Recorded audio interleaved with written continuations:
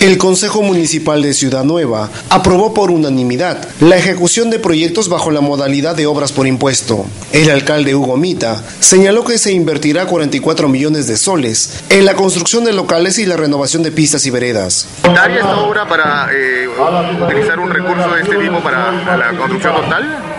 Yo creo que lo, lo, importante sí considero que es importante. ¿Por qué? Porque tiene pista atlética, tiene la valla olímpica para la primera división.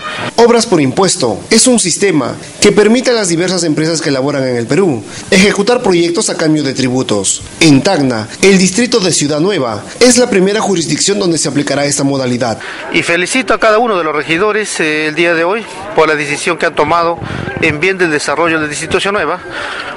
de que la sobra por impuesto es una norma, es un eh, beneficio que ha dado el gobierno central y nosotros simplemente lo estamos acogiendo.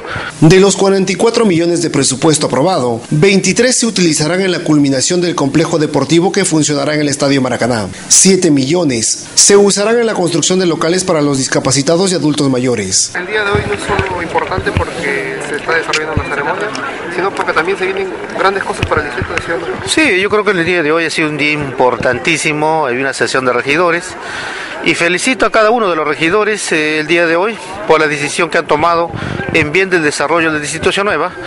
Los últimos 3 millones serán usados en la renovación de pistas y veredas de los 23 comités que hay en Ciudad Nueva. El alcalde indicó que Pro Inversión hará una licitación para designar a la empresa que ejecutará las obras.